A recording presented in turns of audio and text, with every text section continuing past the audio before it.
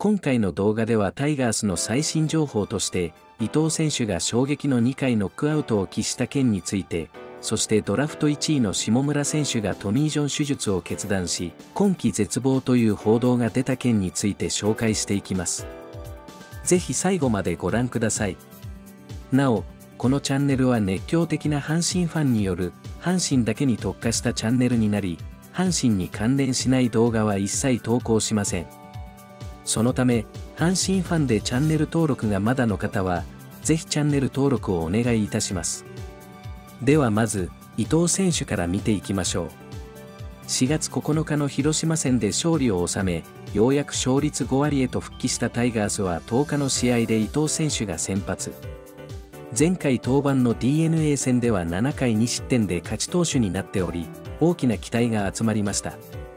昨シーズンは広島と相性が良く、2勝0敗、防御率1.17と完璧に抑えていましたが、この日は4試合連続無得点と絶不調の広島打線に捕まってしまいます。先頭の野間選手にツーベースヒットを浴びると、小園選手の内野安打で先制点を献上。なんとか最小失点に抑えましたが、2回は4連打を含む6本のヒットを打たれ、さらに5点を奪われます。アドア選手の打球がベースに当たってヒットになるという不運があったものの、勢いに乗った広島打線を止めることができませんでした。そして2回裏にツーアウト3塁で打順が回ると、岡田監督は代打の小野寺選手を送り、ここで降板に。左腕のエース格ともいえる伊藤選手が2回6失点でノックアウトされるというまさかの結果となりました。伊藤選手は自身のピッチングについて、決めに行ったボールも甘くなってしまい相手の流れを止めることができませんでしたとコメント。さらには6連戦の2戦目で早々に降板したことを踏まえ早いイニングで交代となりゲームを作ることができずに申し訳ないですと反省のコメントを残しました。アドア選手の当たりが内野ゴロになっていれば2回も最小失点でしのげていたと思うので少しかわいそうな面もありましたが状態の良い時の伊藤選手であればしっかりと立ち直れたはず。やはり状態が上がっていないのでしょう。オープン戦の段階からストレートの出力について課題が指摘されていた伊藤選手ですが、この日の最速は140キロで、ストレートの大半が130キロ台後半でした。昨シーズンのストレートの平均球速が142.3キロだったことを考えると、4キロ程度遅くなっているはずです。良い時のストレートが戻ってきておらず、変化球とのコンビネーションが生きていないのではないでしょうか。次回登板ではストレートの球速に注目してみたいと思います。伊藤選手の状態が非常に心配ですが、この日の漆原選手のピッチングは大きな収穫になりました。伊藤選手の後を受けて3回から登板した漆原選手。勢いに乗った広島打線を抑えるのは決して簡単なことではありません。しかし、先頭の秋山選手を3球三振に打ち取ると、最初のイニングを三者凡退に抑えます。2イニング目となった4回も三者凡退に抑えると、5回はツーアウトからヒットを許しながらも無失点に。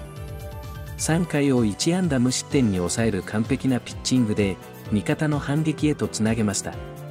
漆原選手が3イニング投げなければ、どこかで勝ちパターンの選手が投げなければいけなくなっていたと思うので、評価されるべきピッチングだったと思います。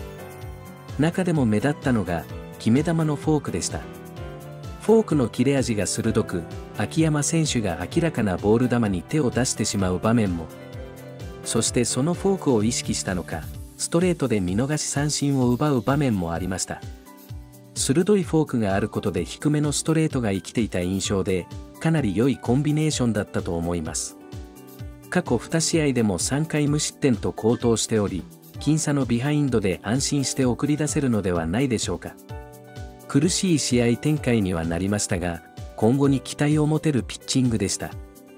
現状は浜地選手と漆原選手がビハインドのゲームを任されると思うので、相手打線の流れを止めるようなピッチングを今後も期待したいです。続いて、下村選手がトミー・ジョン手術を決断し、今季絶望という報道が出た件について見ていきましょう。ドラフト1位を匂わせながらも公表しなかったタイガースが昨年のドラフト1位で指名したのが、地元西宮出身の下村選手です。青山学院大学ではドラフト1位で広島に入団した常広選手との2枚看板で活躍し、日米大学野球でも活躍するなど、大学球界を代表する投手の一人でした。完成度の高さから即戦力として期待する声がある中、キャンプは2軍でスタートすることに。学生時代の疲労や怪我を考慮した首脳陣の配慮で、岡田監督は無理させる必要ないしな。2月1日に1軍となったら、自分なりにピッチを上げるやろ。1日は練習のスタートなんやから、今年のスタートじゃないから、とコメント。下村選手自身も、自分も一番は怪我をしないことを1年間の目標にしようと思っているので、頑張りすぎず、やれることだけをやろうと、と語っており、スローペースで調整を進めることとなりました。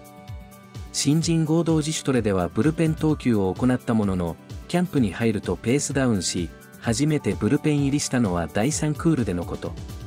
この時も保守を立たせた状態で20球を投げ込んだのみで、本格的な投球練習ではありませんでした。その後、和田監督が下村選手について、基本的には鳴尾浜に帰ってから、しっかりコンディションが整ってからブルペンで投げると語り、キャンプ中の本格的な投球練習は行わないことが決定。本人が体力はどんどん上がってきている。他のやれるべきことはしっかりできているので、本当に体はいい状態です、と語っていたのとは裏腹に、なかなか調整のペースが上がらず、不安に思っていたファンの方も多かったのではないでしょうか。キャンプが終了し、実戦の機会が増えていく中で下村選手に関する報道は少なくなり、本格的な投球練習を再開したという報道もありませんでした。そんな中で報道されたのが、トミー・ジョン手術を受けるという内容のニュースです。報じたメディアは日刊再造で、下村選手がトミー・ジョン手術を受けると決断したこと、そして岡田監督が落胆していることについて報道。